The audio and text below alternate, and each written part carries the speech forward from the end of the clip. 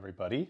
Welcome to another episode of Mike Likes. I'm Mike, and today I thought I'd show you guys something you've probably seen before in a different format. So you might recognize this 6-inch Schmidt-Cassegrain Celestron telescope. It was the optical tube of my 6SE, so it hasn't gone anywhere, but it's wearing some new clothes. Um, this black piece here is hiding something new that I've recently set up and it is a hyperstar. Now, a hyperstar is essentially an optical image corrector, flattener, reducer. Uh, it takes the standard focal length of this telescope, which is 1500 millimeters, so pretty good planetary scope at f10, and it turns it into a astrograph, which is basically a telescope that's only used to take pictures. So we remove the secondary mirror, and we install this weird looking thing, and this is the hyperstar. So what does that mean?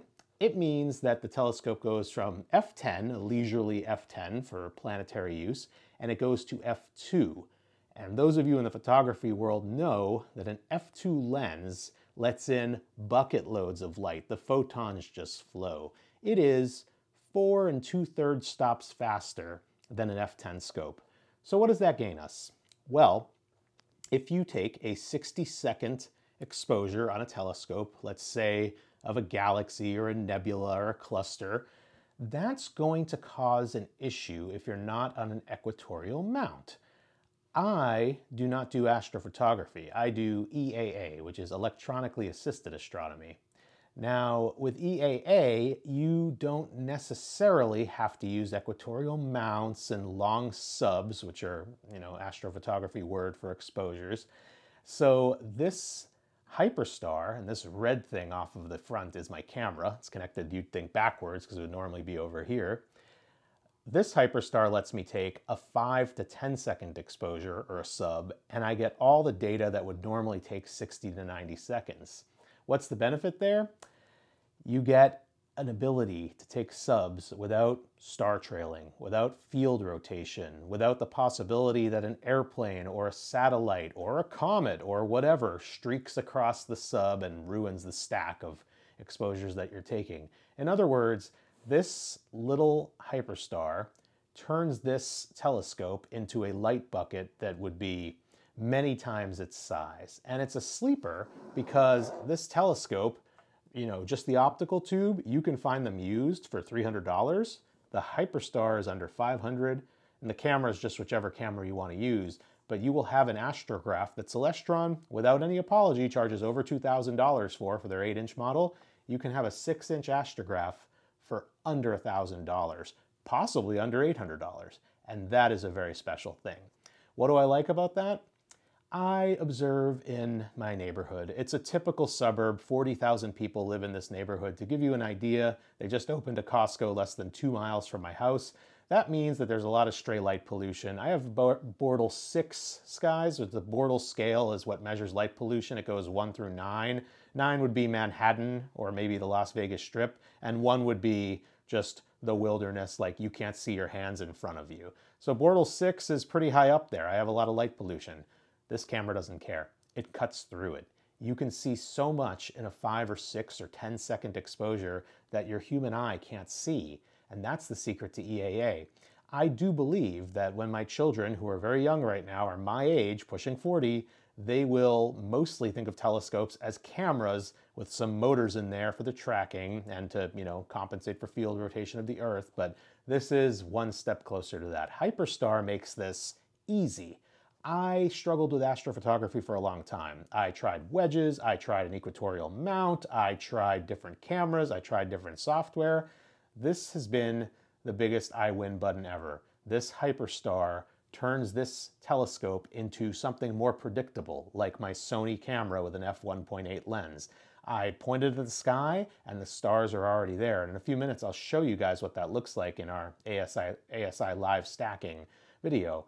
But needless to say, I've set this up in such a way where it is just an astrograph that takes pictures. It doesn't have a visual back right now. You'll see it's just a, you know, dust, dust cap plug there. And it's just ready to go. I can convert this back. The nice thing about a Hyperstar is that the entire thing rotates right off the front. You can see I can rotate it there. And that means that I can restore this to visual use in under five minutes. I just put the secondary mirror back in. Hyperstar is uh, made by a company called Starizona, and their engineering is incredible. The, the cap of the Hyperstar becomes the holder for your secondary mirror when it's not in use. So my secondary mirror is on the shelf behind me, but if I want to bring this Celestron C6 telescope back to visual mode, I can do so, and then it's no longer an astrograph.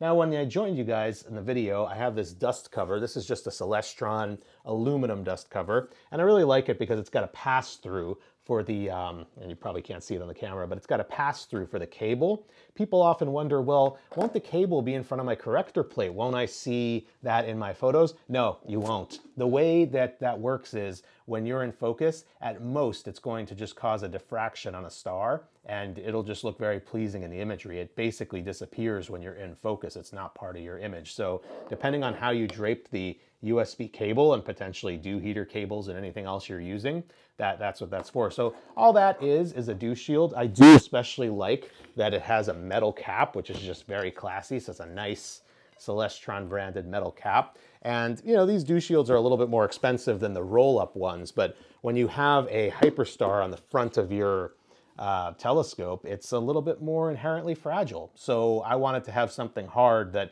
if I set this thing down on the face of it, it's not putting any weight on my corrector plate. So the Hyperstar is riding on glass. And, you know, Starizona has been an amazing company. They have videos on how to attach these things, but suffice it to say, you get your telescope, your C6, your C8, your C9 and a quarter, whatever you got, you take off the secondary mirror, it's indexed, so when it goes back in, you don't have to recollimate the scope because a lot of people are scared about recollimating SCTs, and I don't blame them. This screws in, just until you feel not even resistance, just until it bottoms out and can't screw anymore. You don't want to screw it tight or then thermal expansion and contraction will cause issues. Anyway, screws in, you connect your camera to that. Get, they give you an adapter with the proper back spacing for the type of camera you have, and you are off to the races. Put your dew shield on if you live in a humid climate like me. Connect your laptop or your ASI Air device or whatever control you have of your uh, telescope and that's all you have to do. I was imaging things like the Horsehead Nebula, the Andromeda Galaxy, the Pleiades, the moon. I don't use the hyperstar, but you know, you can you can rig it any way you want. If you want to do planetary, you can do that as well with the reducer. So uh, Schmidt Cassegrain telescopes are the most flexible scopes because you know they come as an f10 scope. You can reduce it to f6.3, which gives this like a 900 millimeter focal range, which is a pretty good intermediate length. And then this Hyperstar puts it down to 300 millimeters, which is like a telephoto lens on a camera, but what a nice way to have a wide field imaging machine without having to buy an Apo refractor or an or a uh, Achromat, whichever. You don't have to buy another telescope. You just need to get a Hyperstar. I've seen them used for under $400. A lot of people move up. They get more expensive as you get to the 8-inch model. They start at $1,000. They go up from there. But you know, if you can pick one of these up, and you pick it up secondhand, it's just a chunk of glass. As long as it's not scratched up or damaged, it's gonna work fine. They do have these collimation screws. I didn't mess with them. They're set at the factory. It worked beautifully. These screws with the plastic bushel on the bottom, that's to rotate it so that your camera, uh, you can move it so that it matches up with your sensor. I have a rectangular sensor. Some people have a square sensor. Some people have more of a, of a longer rectangle. Well, you can set that as well so you get the right uh, orientation for your sensor. Guys, this is the best kept secret in astrophotography. It's the I win button. A lot of people will turn up their noses at us because we're not imaging at, you know, f6.3, f7, f4, f10. Why not make your life easy? Image at f2. You'll pick up 25 times more speed. So that's what I got for you guys. I'm going to leave you in the um, software and we'll see how that looks. Okay, so here we are in ASI Live. And what I'm doing in ASI, as you'll see, is I'm imaging a star field. This is actually Alnitak, which is one of the stars in Orion's belt. And what we're going to be doing is looking for the Horsehead Nebula. And you can see part of the Flame Nebula is already appearing there. So as you see what's happening is I'm taking what? Four second exposures, five second exposures, and look at those stars. They're already appearing. Normally you'd be looking at 10, 15 seconds for that, but the Hyperstar is doing all that for us at f2, and you can see some of the nebulosity kind of coming about. and the software is stacking them. Now, it doesn't really matter what kind of software you use. Some people use things like SharpCap, some people use the ASI products. There's all sorts of tools that do this, but they basically stack your subs, your light subs, and then you get a stack and you can process it. Now, I'm not going to bore you with the processing of all this, but suffice it to say, once you've got your stack, you can process it and add dark calibration frames and bias frames and flat frames, and it gets all very exciting. But I'm just going to leave you with the final product, which was a picture of the Horsehead Nebula and also the Andromeda Galaxy. And like I said earlier, they're not necessarily going to be um, the prettiest astro photos of the year, but they'll be ones you made without much stress at all. So if you guys like what I'm doing here, go ahead, throw a like on the channel. If you could subscribe, that's even better.